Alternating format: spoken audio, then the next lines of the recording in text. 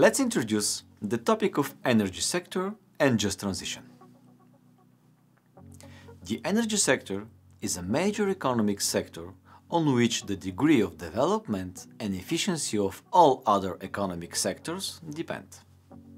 Still, the developed countries rely mainly on the extraction and use in the economic turnover of the conventional for the 20th century fossil energy sources coal, oil, natural gas, uranium and plutonium ore. The only significant renewable sources in the energy system in the 20th century were water, wood and vegetable waste for combustion. A major challenge is the need to move from dependence and attachment to traditional, exhaustible and non-renewable primary energy sources to the use of renewable, green primary energy sources. Secondary energy is all energy obtained from transforming primary energy, in particular electricity of thermal origin.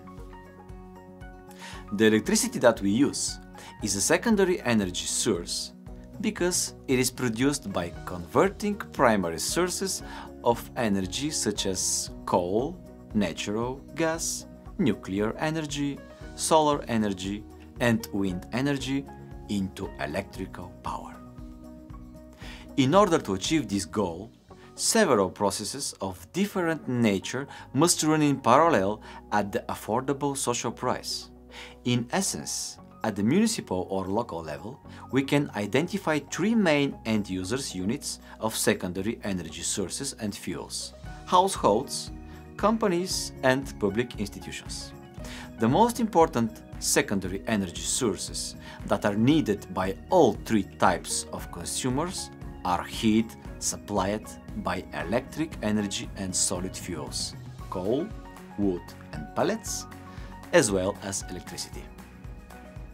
Households are the most intensive users of secondary energy sources and hence become the most vulnerable consumer group.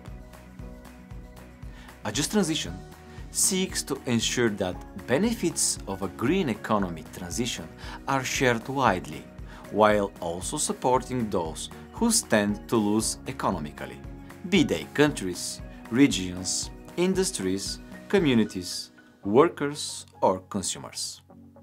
The Just Transition process is about building infrastructure capital, for example, new energy systems, providing funding financial capital but also restoring energy capital, building skills and jobs, human capital and social capital, entrepreneurship.